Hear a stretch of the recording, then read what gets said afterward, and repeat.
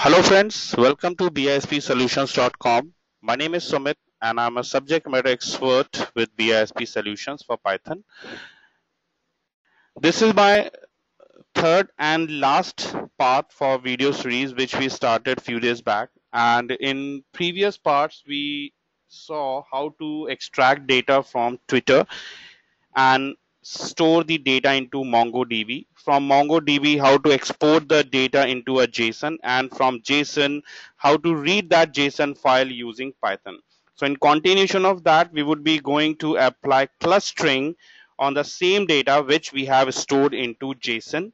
And uh, the idea behind this whole case study is to just to demonstrate you that how to apply the the how to use the functionality of Python machine learning on any social media dataset. So let's begin. And uh, very first thing we would be going to look at the data which we have extracted. So that was the data we extracted from Twitter and from MongoDB and stored into JSON. So let me edit with Notepad++. And that's the data set we have created with various nodes. And uh, just to demonstrate it more, let me expand it and uh, just paste it in a separate tab. So I'll just paste it in a separate tab and format as JSON format. And we have various nodes like created at ID text truncated entities. Then in sources we have then users is there. In within users we have entities and entities we have description.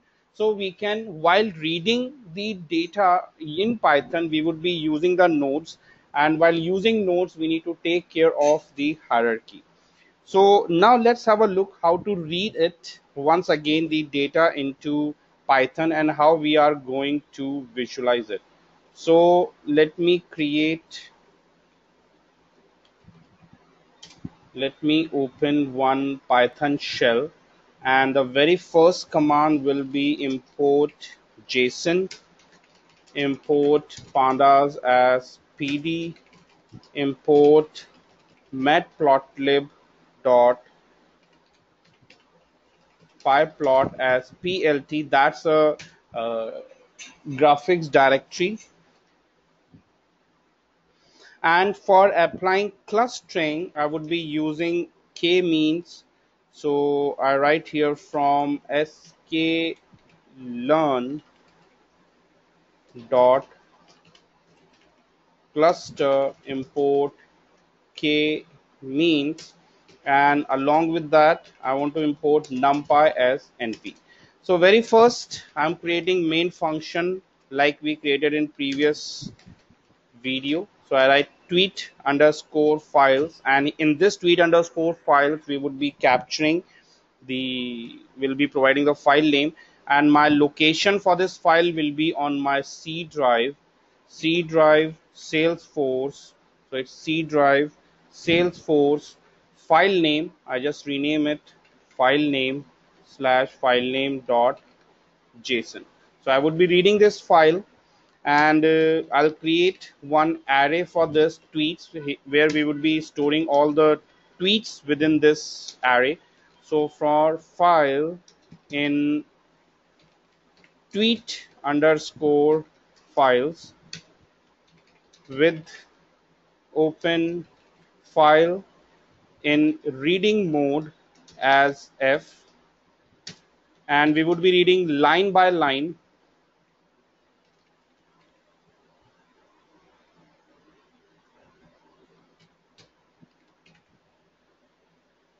For line in F dot read lines we would be reading line by line and we would be appending it to array. So appends json dot loads line. And finally populate underscore we would be invoking function and in that function I would be passing this array tweets array. So let's save this and uh, I'll just give name as Twitter clustering. And I'll just test it. So okay. For it should be f dot read line and it's a proper indentation should be there. It should be proper intended. And test it.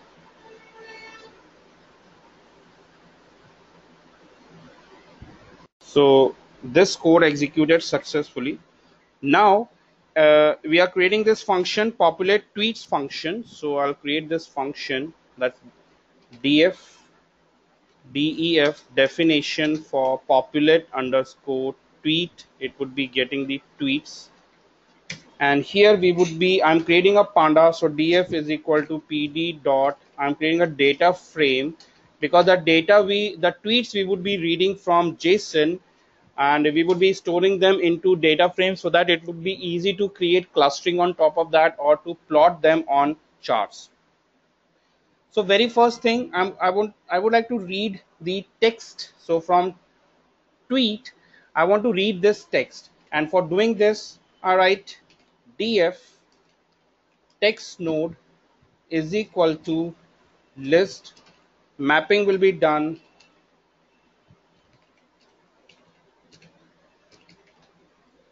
lambda text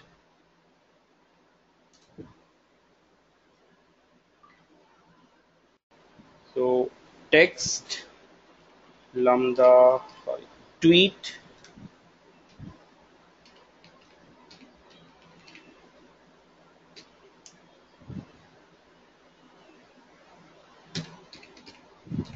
text and it would be mapped with tweets and uh, I'll just write print df and now let me invoke this function. So I write that if underscore underscore name equal equal underscore underscore main main function will be invoked. So you can see we have successfully we are able to successfully read the tweets from the json file now, my next requirement is I would like to read the followers count and the friends count. My requirement is to to to extract the followers counts and friend counts. And uh, these follower counts and friends counts exist within users.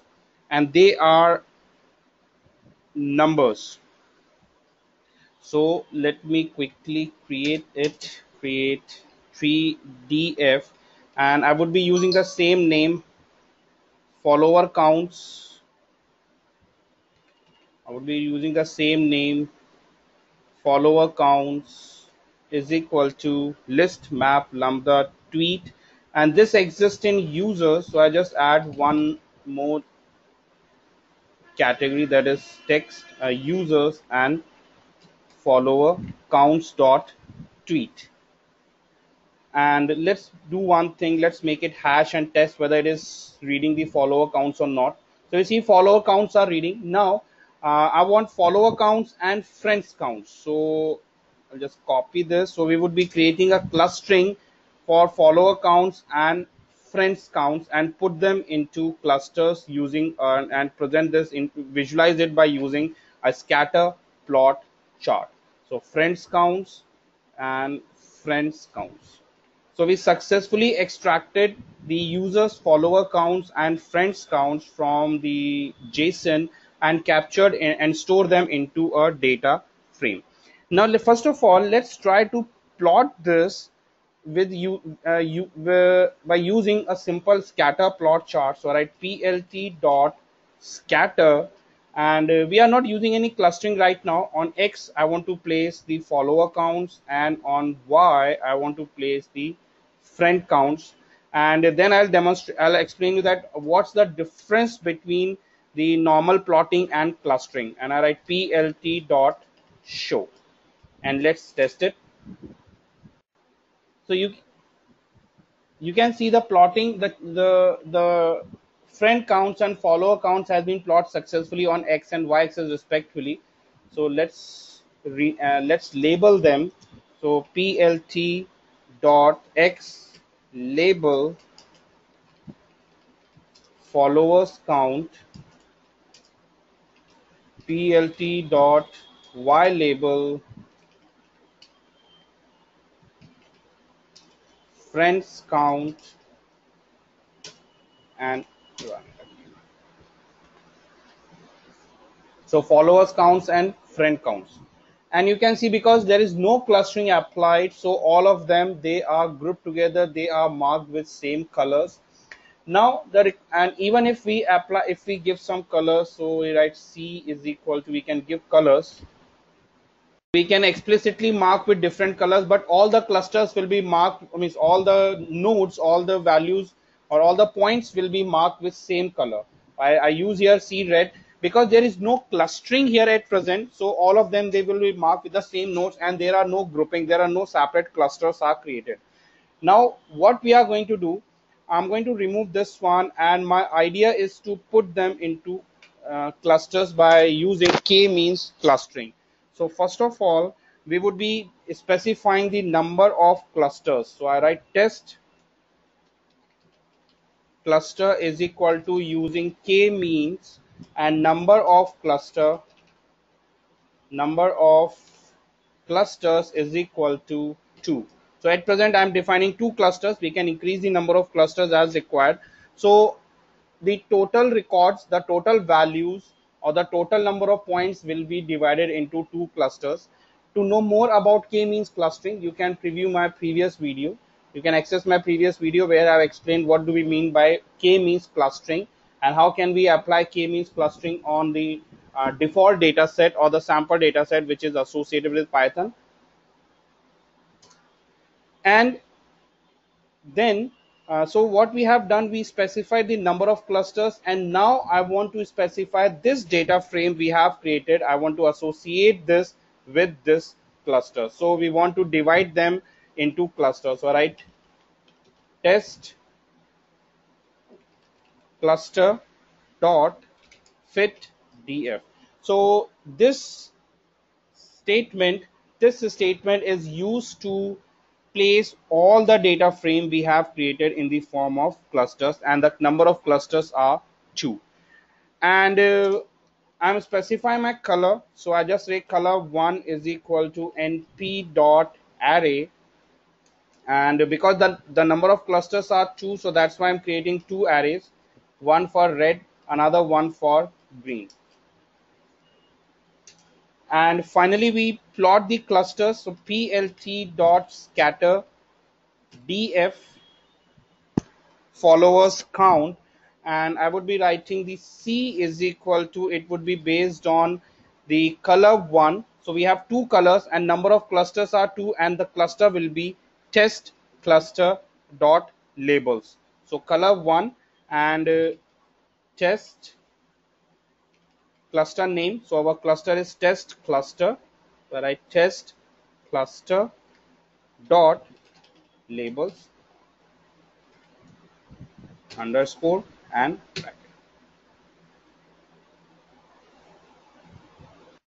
So let's test it now. And uh, here we have two clusters. The number of clusters are two. And we, we specify them with two colors red and green color.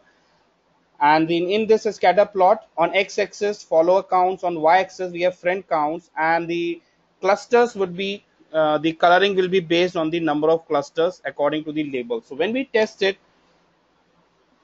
when we execute it. On x we have follower counts. On y we have friend counts. And you can see only one will be marked with green and the rest of them will be marked in red. And as you know that the clusters will be divided uh, the clusters gets distributed based on the uh, distance. And here these clusters are closer as comparative to this cluster. Now if what if if we increase the number of clusters? So let's suppose i increase the number of clusters and uh, i would be defining three colors so red green and uh, blue. And let's test it now. So now we have three clusters. And you can see it gets divided into three clusters. One cluster is for because they are very close enough. Second based on uh, Euclidean distance. And third cluster is far ahead. In same manner, we can increase the number of clusters. I know that I have got millions and trillions of records and I want to divide though I want to divide them into four or five clusters so we can do that. If I'm if as soon as like I'm increasing the number of clusters and they marked with different colors. So they are very close enough so they marked with red they marked with blue and they marked with yellow and the remaining one marked with green because they are far ahead. So this is how the how we can apply the k-means clustering on Twitter data which we have extracted from Twitter's account stored into JSON uh, stored into MongoDB from MongoDB we exported into JSON and finally we import JSON into Python and we apply the clustering on top of it.